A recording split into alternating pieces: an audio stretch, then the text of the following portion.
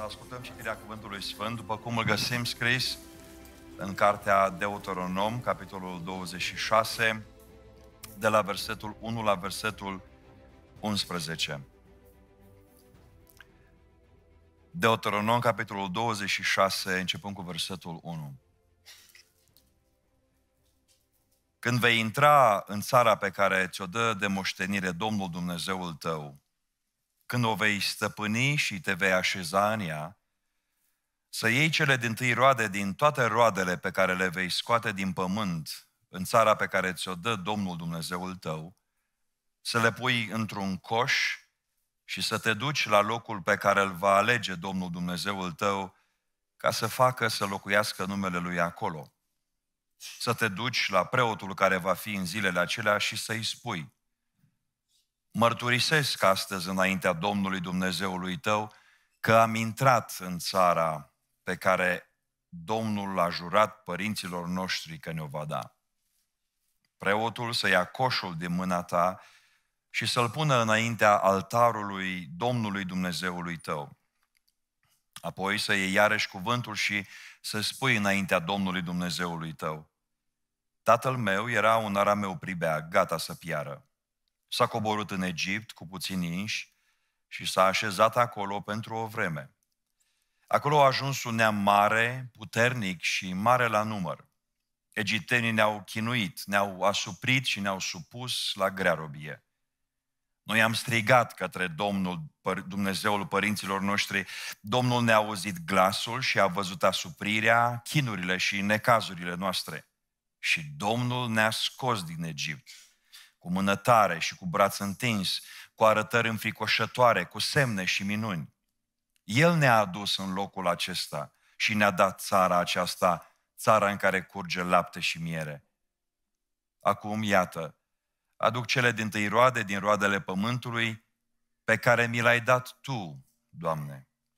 Să le pui înaintea Domnului Dumnezeului tău și să te închini înaintea Domnului Dumnezeului tău. Apoi să te bucuri cu levitul și cu străinul care va fi în mijlocul tău, de toate bunurile pe care ți le-a dat Domnul Dumnezeul tău, ție și casei tale. Amin. Veniți să ocupați locurile.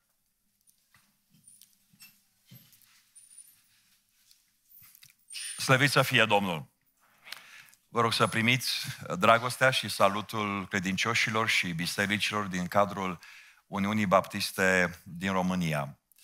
Într-o notă personală, aduc uh, salutul uh, și dragostea Bisericii Baptiste Providența, din ceea ce unii de prin zonă numim Feren, Texas, um, și din partea colegilor de slujire a fratelui Oti Bunaciu și fratelui David Tătar, de asemenea din partea colegilor uh, profesori și a studenților din cadrul Facultății de Teologie Baptistă din Universitatea din București și a Institutului Teologic Baptist din București. Um, cele saluturile din uh, partea Institutului uh, sunt ușor repetitive, având în vedere că doi dintre din stii și dumneavoastră păstori sunt colegii noștri în uh, această slujbă, credem, importantă de formare a lucrătorilor pe ogorul Evangheliei care să slujească nu doar în țară, ci și uh, în diaspora. Dar uh, venind uh, din direcția Bucureștiului, trebuie să aduc toate saluturile care sunt în dreptul meu de adus. Um, prezentarea sau introducerea generoasă, dar nemeritată pe care fratele Binu a făcut-o, mi-a făcut-o mai devreme, Uh, trebuie să vă spun că a conținut, am fost ușor tentat și eu, am zâmbit când a zis de șoferit, pentru că mi-am amintit și eu de întâmplarea aceea cu Billy Graham, dar nu aș fi îndrăznit să vă spun, să vă spun, doar fratele Binu o putea face, nu, nu mi-aș fi permis să spun lucrul ăsta, când eu ar fi trebuit să șofez în mașina în care era fratele Binu. Um, Însă, stând aici, m-am amintit uh, de ce mărturisea un păstor în dreptul lui, vorbind cu alții, uh, spunea, într-o duminică eram așa de obosit, încât uh, visam că predic și am visat că predic și, să, și că predic și când m-am trezit, eu chiar predicam. Uh, lucrul ăsta m-am gândit în dreptul meu. Acum, și dumneavoastră sunteți uh, greu încercați, pentru că, uh, iarăși stând aici, mă, mă gândeam când la mine, când la dumneavoastră. Într-o biserică, într-o duminică seară, fiind invitat un predicator, s-a ridicat, a început să predice și numai nu găsea aminul. Asta e o provocare uneori pentru predicatori nu o să fie pentru predicatorul din seara aceasta, Domnul să-l ajute. Uh, am auzit aminul ăla, nu trebuia să... De data asta aminul trebuia spus în forul dumneavoastră interior. Trebuia spus în, în duhul dumneavoastră, dar am, am înțeles. Um, să vedem cum va lucra Domnul, dacă ascultă, să facă-se după credința dumneavoastră. Însă, predicatorul a tot predicat, nu găsea uh, aminul, un copilaș din sală s-a întors către mama lui și a întrebat-o tare să audă și mama, să audă și predicatorul și toată audiența, mami, e încă duminică? Și eu m-am bucurat să văd că într-un mod sau în altul, nu știu, nu prea sunt copilași pe aici. A, de fapt, ei sunt la balcon și nu-i auzim. Domnul să-i binecuvinteze, atunci pot să eh, trec mai departe. Însă, având în vedere că suntem la uh, sărbătoarea uh, roadelor. Uh, în seara asta vă invit să ne uităm în pasajul pe care l-am citit, să încercăm să răspundem unei întrebări simple, dar de fapt foarte profunde și foarte importante. De ce noi, orășenii, sărbătorim sărbarea asta a roadelor, a mulțumirii pentru roade, sărbătoarea mulțumirii pentru lucruri pe care, de care ne bucurăm, dar ce alte motive în afară de faptul că ele ne oferă un trai uh, bun? Ce motive avem să mulțumim Domnului pentru roade? Și pasajul acesta ne ajută să găsim câteva motive foarte profunde. Trebuie să mulțumim Domnului pentru roade, pentru că uitându-ne la ele, vedem credincioșia lui Dumnezeu în pofida necredincioșiei noastre.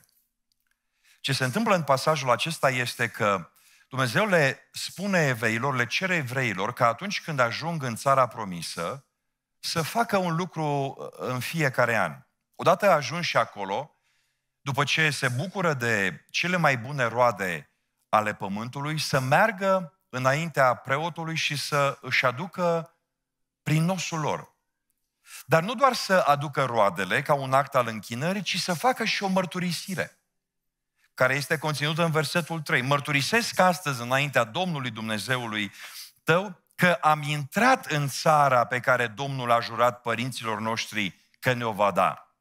Ce are de a face lucrul ăsta cu roadele pe care Dumnezeu ceruse în primele două versete ca ei să le aducă? Contextul acestei cerințe se găsește în Exod, a doua carte a Bibliei, în capitolul 6, vedem aici că Dumnezeu le face israeliților o ofertă, o invitație extraordinară. Îi cheamă să facă un legământ. Domnul să fie una din cele două părți, Israelul cealaltă parte. Domnul le promite lucruri extraordinare. Auziți, începând cu versetul 6 din Exod 6. De aceea spune copiilor lui Israel, eu sunt Domnul, eu vă voi izbăvi din muncile cu care vă apasă egiptenii. Vă voi izbăvi din robia lor, vă voi scăpa cu braț întins și cu mari judecăți. Vă voi lua ca popor al meu. Eu voi fi Dumnezeul vostru și veți cunoaște că eu, Domnul Dumnezeul vostru, vă izbăvesc de muncile cu care vă apasă egiptenii. Eu vă voi duce, aduce în țara pe care am jurat că o voi da lui Avram, lui Isaac și lui Iacov. Eu vă voi da o înstăpânire, eu, Domnul. Niște promisiuni extraordinare. Dumnezeu le promite izraeliților să îi scoată din robia egipteană. Le promite să îi însoțească cu braț puternic, le promite să-i ducă în țara pe care le-a indicat-o în Canaan, le promite să fie cu ei acolo. Aceasta era partea lui Dumnezeu în legământ, în contract. Izraeliții aveau, în schimb, lucruri de fapt uh, simple de făcut. Aveau să, trebuiau să umble în ascultare față de Domnul. începând cu capitolul 20 în Exod, vedem ce anume le cerea Dumnezeu, care erau legile pe care ei trebuiau să le respecte. Zis și făcut. Legământul a fost încheiat, Israeliților le-a convenit mult, s-au bucurat mult de oferta lui Dumnezeu și atunci înțelegerea era în desfășurare. Fiecare dintre cele două părți avea să-și împlinească responsabilitățile, lucrurile pe care le-a promis. Și au început, a început Dumnezeu. A intervenit într-un mod în care istoria n-a mai văzut înainte și n-a mai văzut după. Dumnezeu i-a scos cu mână tare din Egipt. A pronunțat judecată împotriva tuturor zeilor Egiptului. Lucruri mari au fost făcute pentru poporul acesta. Domnul i-a scos din Egipt, i-a dus prin pustie și i-a dus 40 de ani prin pustie. I-a hrănit, au fost nevoie de milioane și milioane de păsări. Au fost nevoie de milioane și milioane de tone de apă să hrănești probabil în jur de 2 milioane de evrei care au pribegit pentru 40 de ani în pustie. Milioane de tone de mană. Domnul le-a purtat de grijă. Domnul și-a îndeplinit partea. A fost credincios promisiunii pe care a făcut-o. Ce au făcut pe de altă parte evrei în dreptul lor? În cadrul acestei înțelegeri, în cadrul acestui contract, legământ, n-a durat decât șase săptămâni după ce au ieșit din Egipt și evreii au ajuns în pustia Sin. Nu mai aveau pâine, nu mai aveau carne, au început să murmure, să cârtească, mai bine era în Egipt. Au ajuns la Refidim, n-aveau apă. N-aveau apă cum aveau în Egipt. Iarăși au cârtit. Au ajuns la Sinai și au scos sculele de aur, au făcut un vițel de aur, s-au închinat înaintea lui ca și cum acela a fost forța, puterea care i-a scos din Egipt. Domnul le-a dat legi și ei le-au lepădat și au întors spatele lui Dumnezeu. Au apărut înapoi cele 12 iscoade, s-au răsculat. S-au răsculat la Meriba, s-au răsculat la muntele Mor și Domnul a trimis șerpii înfocați. Toate acestea au fost răzvrătire după răzvrătire. Evreii au fost necredincioși Domnului. Nu și-au împlinit partea din înțelegere, din legământ, din contract. Ce se întâmplă când într-un contract una dintre părți nu-și respectă responsabilitățile, lucrurile agreate? E foarte simplu. Contractul devine nul. Contractul se oprește. Dumnezeu ar fi putut să își oprească îndeplinirea lucrurilor pe care le promisese evreilor. Ar fi putut să-i părăsească în emilosul deșert. Ar fi putut să-i lepede și evreii să fie exterminați de una dintre puterile din zonă. S-ar fi putut întâmpla oricare din lucrurile acestea. Dar au trecut ani și în pofida necredincioșiei evreilor, iată-i ajunși în țara promisă. Și Dumnezeu le spune, mergeți înaintea preotului și mărturisiți că ați ajuns în țara pe care Dumnezeu a promis că vă va da. Mărturisiți că Dumnezeu a fost credincios în pofida necredincioșiei voastre. Dragii mei, Dumnezeul nostru este același ieri, astăzi și în veci. Și față de noi, nu-i așa? Trebuie să recunoaștem că în pofida scăpărilor și nevegherilor și perioadelor noastre de necredincioșie, în pofida tuturor acestor lucruri, Dumnezeu a fost credincios în îndeplinirea promisiunilor sale față de noi. Nu-i așa? Slăvit să fie El! Dumnezeul nostru este un Dumnezeu credincios. Și când ne uităm la roade, de fapt vedem un semn al credincioșiei sale față de noi. Noi ne-am răzvrătit și suntem parte a creației acesteia care i-a întors spatele lui Dumnezeu. Domnul ne-a dat pământul cu tot ce este pe el ca să ne fie un loc, de, un loc în care să stăm, un loc în care să putem să mâncăm, să ne plimbăm, să umblăm, să trăim. Și odată cu păcatul nostru, întreaga creație a fost afectată. Ar fi trebuit ca toată creația, de fapt, să fie exterminată. Dar Dumnezeu este credincios și în pofida necredincioșiei noastre. Ploaia vine mai departe și peste cei buni și peste cei răi. Dumnezeu mai departe ține pământul acesta în mâna sa. Dacă Domnul și-ar lua mâna de pe pământ, de, de pe creație, totul s-ar întoarce de unde a venit, spunea unul dintre teologii din primele veacuri. Adică spre nimic. Totul este în viață pentru că Dumnezeu, prin Duhul Său cel Sfânt, ține în viață. Dumnezeu este credincios. Și când ne uităm la roadele pământului, când ne uităm la pom, când ne uităm la flori, când ne bucurăm de fructe, de legume, toate acestea sunt un semn al credincioșiei lui Dumnezeu în pofida necredincioșiei noastre, slăvit să fie El. Trebuie să-i mulțumim pentru că El este credincios. Trebuie să-i mulțumim lui Dumnezeu, dragii mei, pentru că roadele pământului sunt rezultatul puterii sale în pofida neputinței noastre. Și modul în care omul lui Dumnezeu Moise redă lucrul acesta în pasajul nostru se vede în versetele 5-6, care spun așa, acum, însă, am, uh, versetul 4. Acum să iei iarăși cuvântul și să spui înaintea Domnului Dumnezeului tău. Tatăl meu era un arameu, pribeag, gata să piară. S-a coborât în Egipt cu puțin inși, s-a așezat acolo pentru o vreme. Acolo a ajuns un neam mare, puternic și mare la număr. Egiptenii ne-au chinuit, ne-au asuprit și ne-au supus la grea robie. Noi am strigat către Domnul și Domnul ne-a scos din Egipt cu mână tare, cu braț întins, cu arătări înfricoșătoare, cu semne și cu minuni. Ce trebuiau să recunoască evreii acolo era că au fost neputincioși.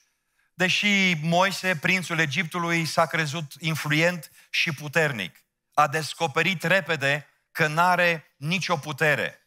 Evreii toți au descoperit foarte iute că de fapt sunt ca o muscă în mâna unui uriaș. Erau neputincioși. Pentru ei povara era prea grea, pericolul era mare. L-au chemat pe Domnul și Domnul a intervenit. Și n-a făcut-o oricum, ci a făcut-o cu mână tare, spune cuvântul, a făcut-o cu braț întins, a făcut-o cu arătări înfricoșătoare, a făcut-o cu semne și cu minuni. Așa numai după cum Domnul poate, slăvit să fie El. Domnul nostru este puternic. Domnul nostru este mare. Domnul nostru ține tot universul în mâna sa, glorie Lui. Și ține familia ta în mâna Lui, ține viața ta în mâna Lui, ține trupul tău în mâna Lui, ține biserica sa în mâna Lui, ține lumea întreagă în mâna Lui. Slavă Lui! El este puternic și noi suntem neputincioși. Și când ne uităm la roade, ele ne amintesc de neputința noastră și de a tot puternicia lui Dumnezeu într-un mod uh, special. Știți de ce? Pentru că roadele pământului sunt rezultatul, sunt un semn al vieții. Și niciunul dintre noi nu poate să facă să apară viața. Vă amintiți atunci când uh, Domnul i-a dat lui Moise mandatul să meargă la faraon și să ceară faraonului lui faraon dreptul ca Israelul să meargă în pustie să se închine. Vă amintiți ce s-a întâmplat? Domnul a însoțit mesajul acesta, cererea aceasta de semne, pentru că pronunța judecata împotriva marilor zei a Egiptului. Și Moise a apărut acolo cu Aron și a spus, lasă poporul meu să meargă din partea Domnului. Altfel, apa se va preface în sânge. Și s-a făcut semnul acesta. Faraon însă, destul de sigur pe puterea vrăjitorilor săi, i-a chemat și le-a zis, faceți și voi la fel. Și vrăjitorii au făcut lucrul acela. După aceea, Moise, din partea Domnului, mandat să înmulțească broaștele în Egipt. S-a făcut lucrarea asta? Vrăjitorii au putut să o imite. Al treilea semn a fost ca praful pământului să fie transformat în țânțari. Și probabil faraon, la fel de sigur pe sine ca în primele două dăți, și-a chemat vrăjitorii și aceștia s-au recunoscut înfrânți, neputincioși. Pentru că i-au spus faraoane, de data asta nu putem. Și de fapt, poți să te duci în orice colț al pământului, pentru că nu vei găsi pe nimeni care să reușească. Pentru că aici doar Dumnezeu putea să intervină. Aici este degetul lui Dumnezeu. Aici nu putem. Pentru că aici se întâmplă ceva ce numai Creatorul poate să facă. Ceva care este mort, prinde viață. Ceva care a fost mort, a devenit viu. Și noi nu putem să facem lucrul ăsta. Vrăjitorii Egiptului s-au recunoscut limitați, neputincioși. Vreau să vă spun că noi, vrăjitorii moderni, oamenii tehnologiilor, cu inteligența asta artificială vom fi uh, în stare să facem multe lucruri, multe lucruri bune și potențial multe lucruri foarte rele. Și rămâne de discutat pentru o altă ocazie. Însă, indiferent cât de pricepuți am fi, indiferent cât de departe va ajunge tehnologia, nu vom putea niciodată să facem ca ceva ce este mort să prindă viață. Pentru că acolo doar degetul lui Dumnezeu poate să acționeze gloria lui. Fructele, legumele, copacii, florile, animalele, noi oamenii, tot ce este viu, e rezultatul intervenției lui Dumnezeu, glorie lui. Suntem neputincioși, dar a lui este puterea în cer și pe pământ. El este puternic. El aduce viața. Și de aceea trebuie să fim recunoscători lui Dumnezeu. De ce trebuie să-i mulțumim lui Dumnezeu? Pentru roade. Pentru că pe acestea și de fapt tot ce avem, avem de la Dumnezeu. De la El avem totul. Versetul 10 spune, acum iată, aduc cele din tâi roade din roadele pământului, pe care mi l-ai dat Tu, Doamne. Veți spune uh, dumneavoastră, păi, uh, frate Sorin, ni le dă Domnul. Într-adevăr, sună spiritual așa, dar numai eu știu cât am muncit săptămâna trecută. Numai eu știu cât muncesc de dimineață până seara. Mă duc la lucru să muncesc din greu, să pot pune o pâine pe masa uh, copiilor. Și facem lucrul ăsta și noi în orașe, în întreprinderi, în birouri, îl facem în fața computerelor, cu cărțile, după cum fac agricultorii pe câmp. Eu am uh, crescut la oraș, dar mergeam la țară, la bunici.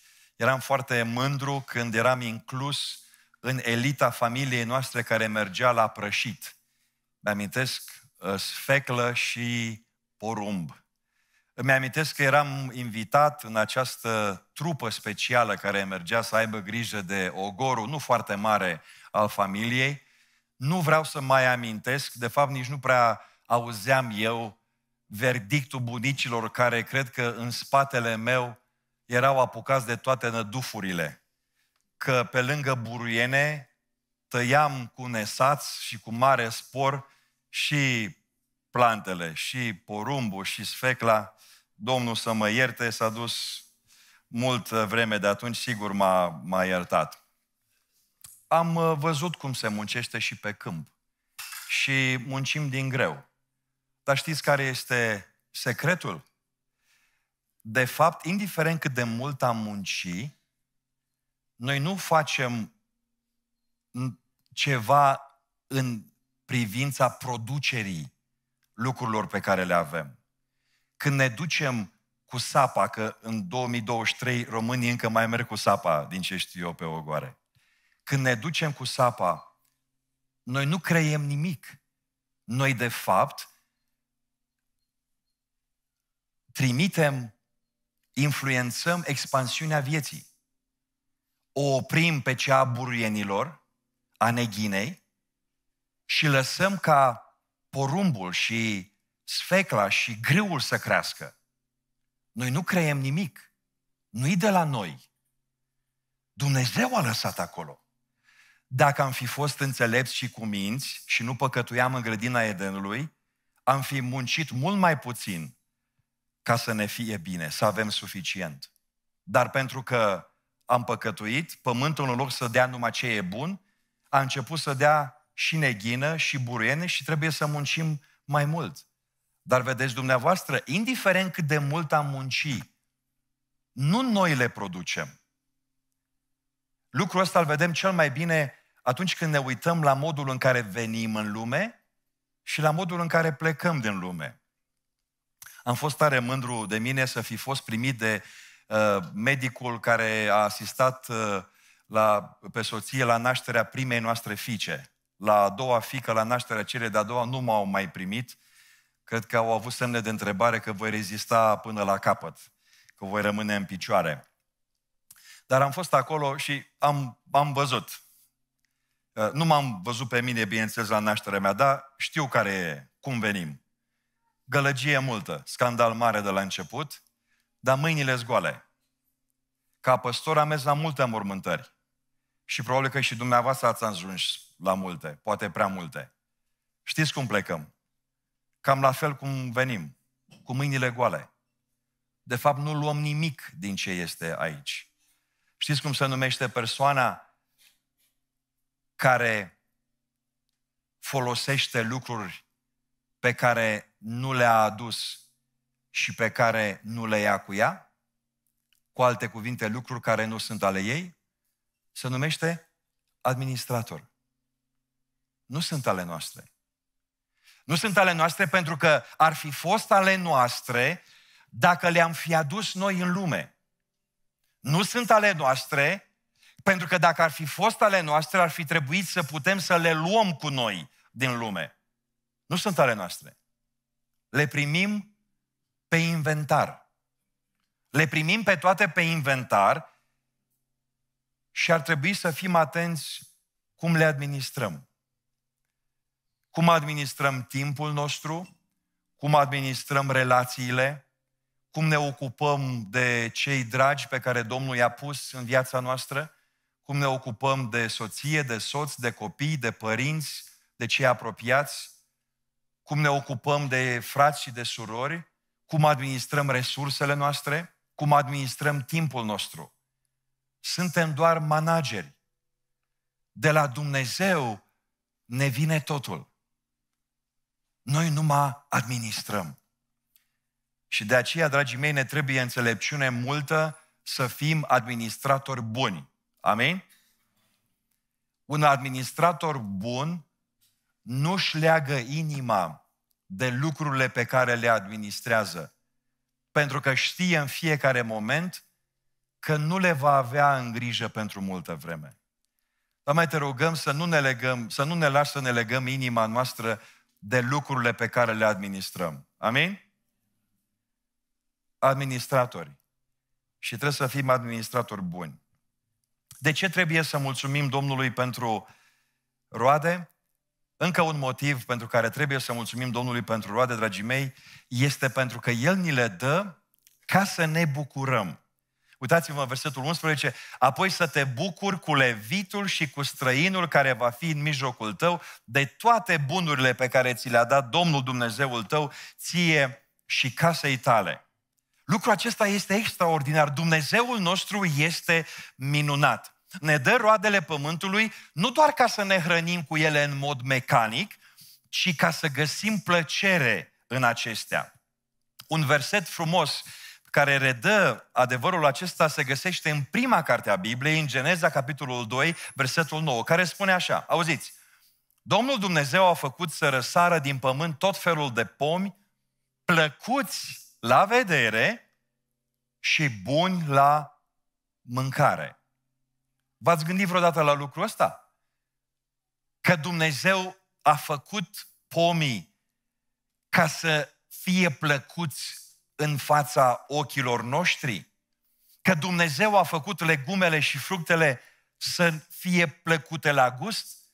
Că dacă le-ar fi făcut numai ca să ne hrănească, le-ar fi făcut pe toate la fel cam cum au devenit fructele și legume în timpul iernii. Mai întâi le-am văzut așa în vest când ajungeam prin supermarket, dar acum și la noi, cel puțin prin București, iarna, dacă iei un coș de legume și de fructe, le speli și îți închizi ochii și guști din oricare din ele și mai guști din vreo două, nu-ți dai seama care e diferența. Dacă ai mâncat un uh, morcov sau textura te mai ajută, sau un măr. Însă Dumnezeu când le-a făcut, le-a făcut gândindu-se la noi să ne bucurăm de ele.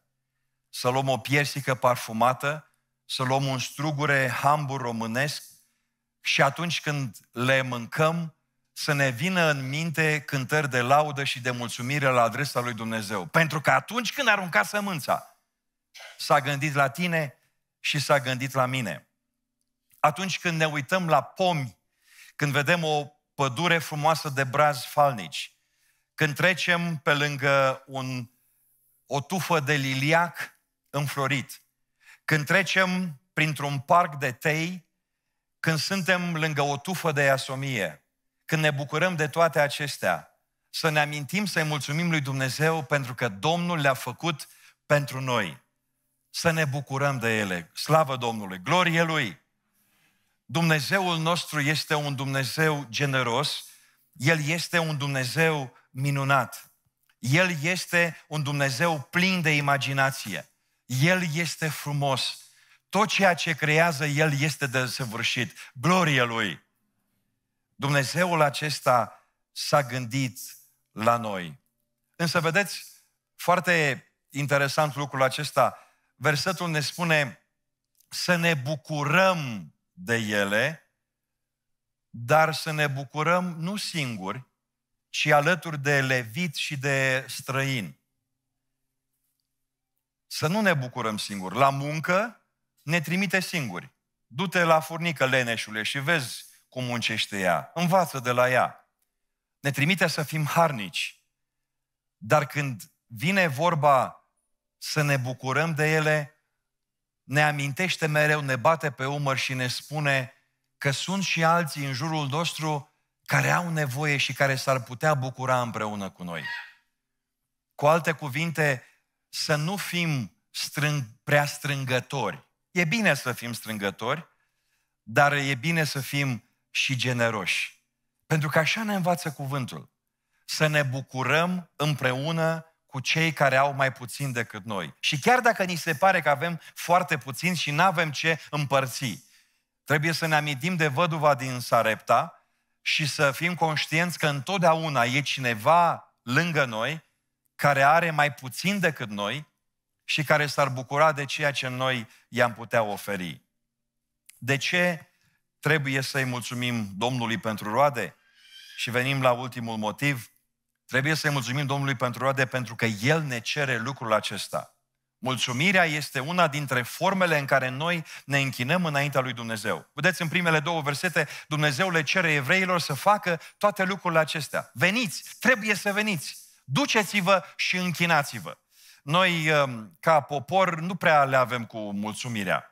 Am locuit doi ani în Anglia, am fost uh, foarte uh, surprins la început, după aceea am învățat și eu uh, repede obiceiul ăsta bun de a spune thank you la orice. Dacă un englez vrea să mute o ladă de 10 borcane de zacuscă dintr-o parte alta și îi dai câte un borcan în mână, de fiecare dată englezul zice thank you. La noi, după 10 borcane, în țară primești așa, o, numai un cap uh, întins în sus. Uh, nu, prea, nu prea suntem recunoscuți, nu prea spunem mulțumesc. Și ăsta nu e un lucru bun. Ar trebui să fim uh, mult mai uh, generoși cu mulțumescul, pentru că um, e un mod de a recunoaște slujirea și generozitatea și curtoazia celor din jur. Și ar trebui să facem lucrul ăsta începând din familiile noastre. Um, a fi mulțumitori nu este doar un lucru necesar în relațiile dintre noi. Dumnezeu ne cere să fim mulțumitori. Să fim mulțumitori pentru că acesta este un mod în care noi ne închinăm. A cerut Domnul lucrul acesta celor din Vechiul Testament, l-a cerut celor din Noul Testament. Mulțumiți lui Dumnezeu, spune Apostolul Pavel, pentru toate lucrurile. Una dintre experiențele extraordinare pe care le-am avut în urmă cu mai mulți ani a fost să traduc un curs de teologie și practică a rugăciunii. Am uh, fost surprins să descoper un uh, mod nou de uh, a ne ruga și profesorul a avut o introducere mai teoretică, mă gândeam, e clar, uh, evanghelicul clasic.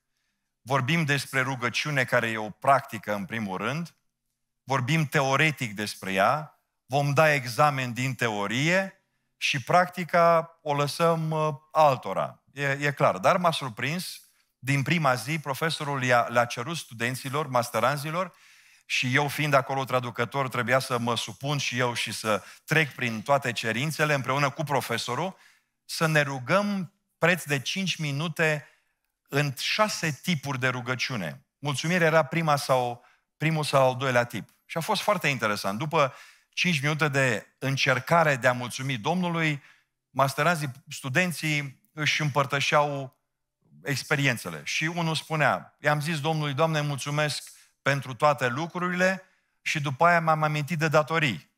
Altul zicea, am zis mulțumesc pentru toate lucrurile și m-am dus repede la lista, la pomelnicul de cerințe, de cerere către Domnul. Și încetul cu încetul, spre finalul săptămânii, examenul, ne-am apropiat de examen care a constat în două ore de rugăciune. Câte 20 de minute pe fiecare tip de rugăciune. Și după aceea, în, în discuții, uh, mulți au spus, nu m-am gândit vreodată că voi putea să mulțumesc lui Dumnezeu 20 de minute în șir. Dar ce mi s-a părut mai interesant a fost că la un moment dat m-am oprit din a rosti lucruri pentru care, cuvinte, lucruri pentru care mulțumeam lui Dumnezeu și efectiv inima mea a fost cuprinsă, a fost copleșită de un sentiment al gratitudinii, al recunoștinței față de Dumnezeu. Cuvintele mele nu se mai duceau în sus, dar inima mea strigat din toate puterile, din toți rărunchii, cât de recunoscătoare este față de Dumnezeu. Mulțumirea, dragii mei, este un mod de viață, este un mod în care ne închinăm lui Dumnezeu. Avem toate motivele să fim recunoscători lui Dumnezeu, nu-i așa? El ne oferă roadele ca un semn al credincioșiei Lui în pofida necredincioșiei noastre. Dumnezeu este credincios promisiunilor făcute, slăvit să fie El. Roadele acestea ne amintesc că Dumnezeu este atotputernic, în timp ce noi suntem neputincioși. Roadele acestea ne amintesc că tot ceea ce avem și suntem primim de la Domnul. Roadele acestea ne amintesc că Domnul ni le dă să ne bucurăm de ele. Și roadele acestea ne amintesc că Domnul așteaptă de la noi să trăim vieți de mulțumire. Vă invit să nu începem și să nu terminăm nici o zi a vieții noastre fără să ne îndreptăm ochii noștri, rugăciunile noastre, inima noastră către Domnul, să-i mulțumim pentru ceea ce este El și pentru ceea ce face El, acum și în veci de veci. Amin.